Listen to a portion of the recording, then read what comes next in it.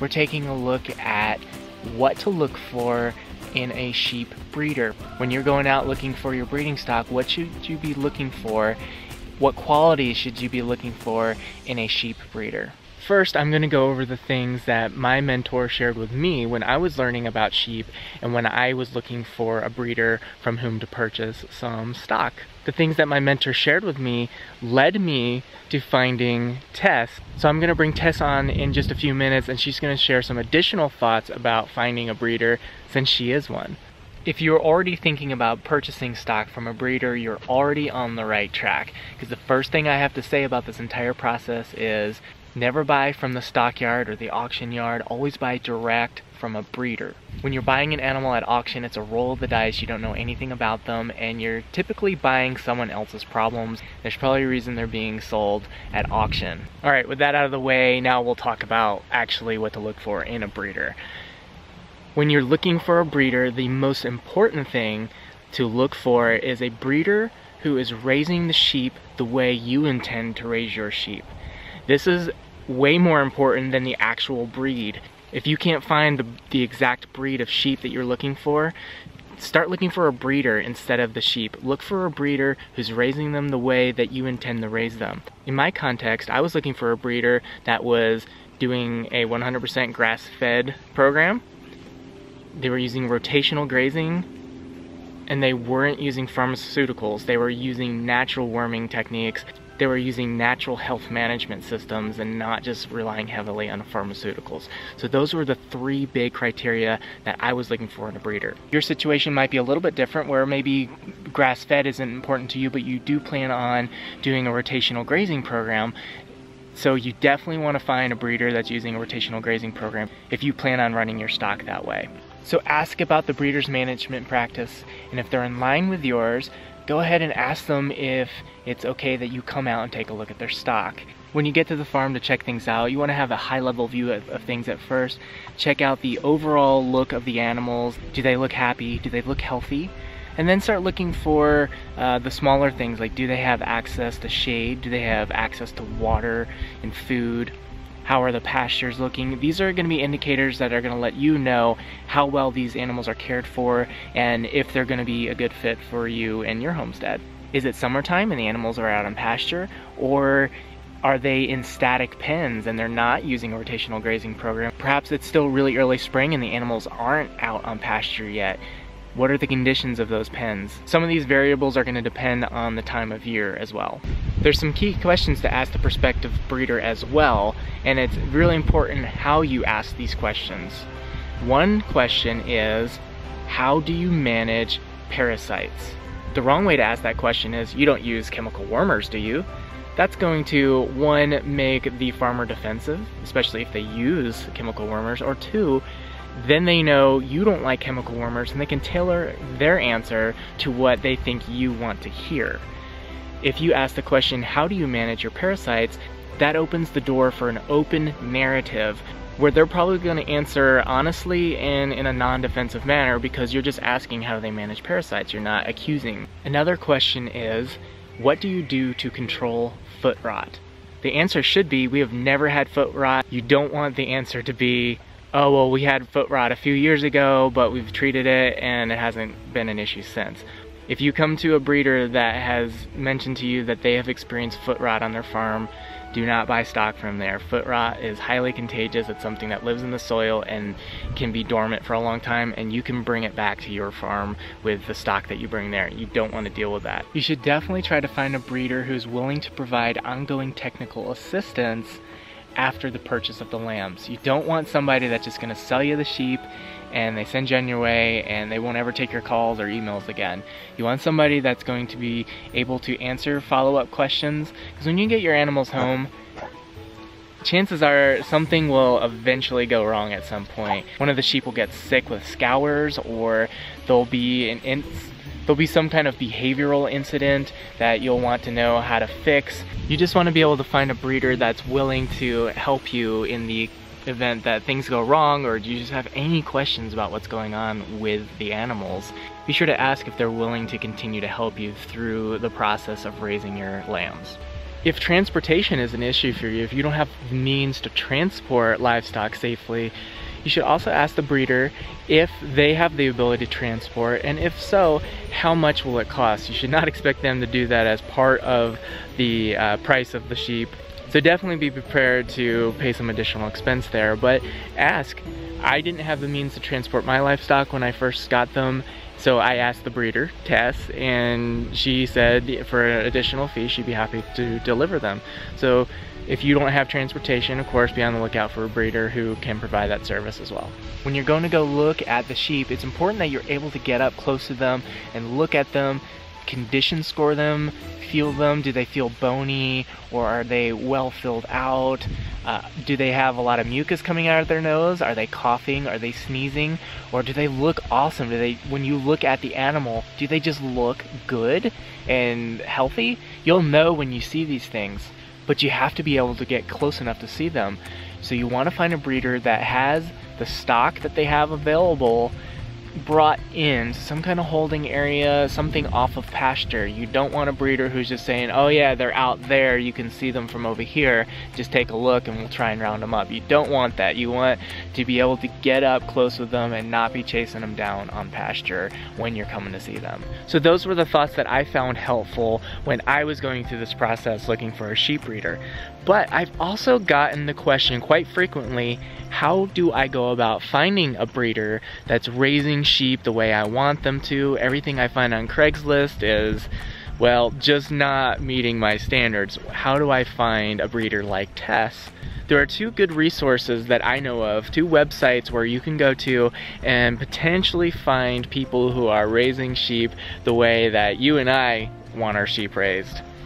The first website is localharvest.com. If you go there and do a search for your area, you can put in your town, do a search on grass-fed lamb. Chances are people who are selling grass-fed lamb are also going to be selling some feeder stock or even breeding stock if that's what you're looking for. And the same goes for another website called eatwild.com.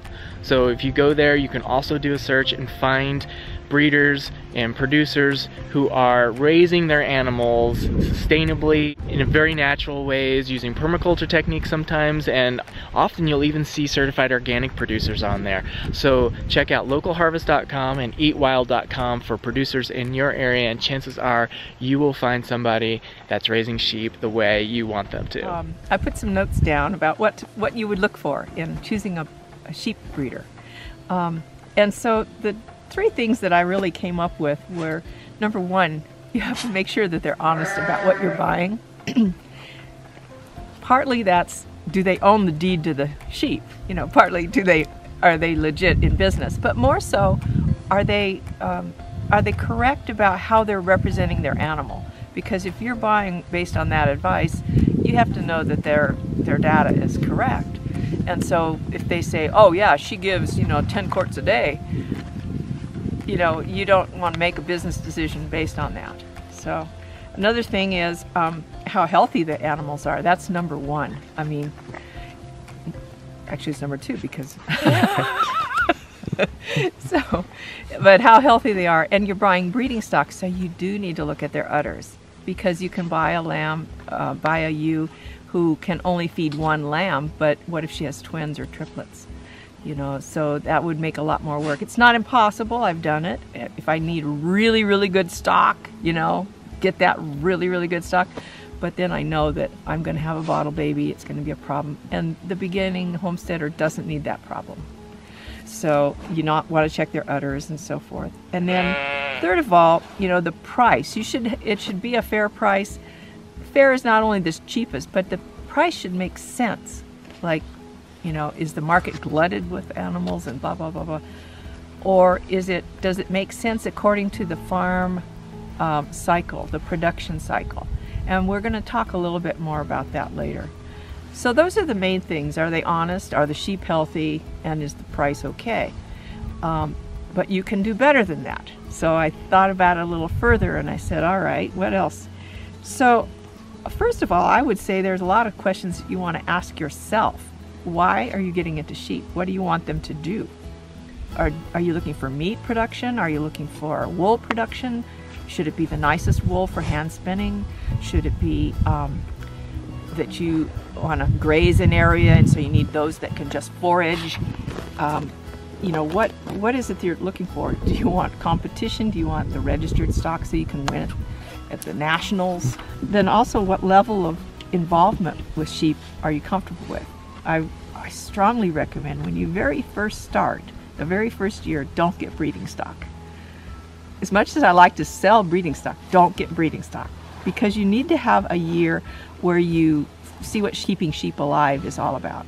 And you need to know whether you like to do this. And you need to know, you know, do you like this kind of sheep?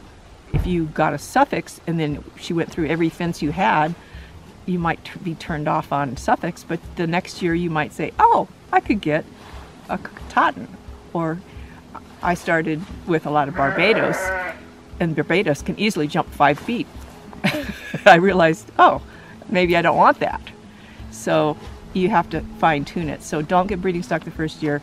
So another really important thing to ask yourself is, how much pasture do you have? How are you going to feed these sheep? Because feeding sheep is where all the expense is. Yeah, you can have a lot of work and so on, but the expense is the feeding. So you have to have a feeding plan. Now maybe you're going to just buy hay and feed it all year. This is your this is your pet or this is your one going to the nationals.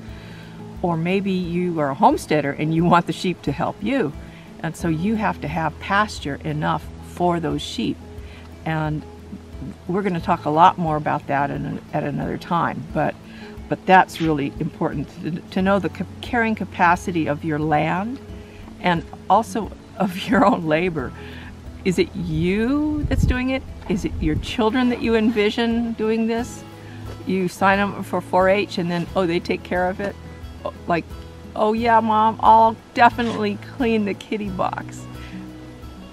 You know, you got to think about the labor. What's the cost and availability of winter hay?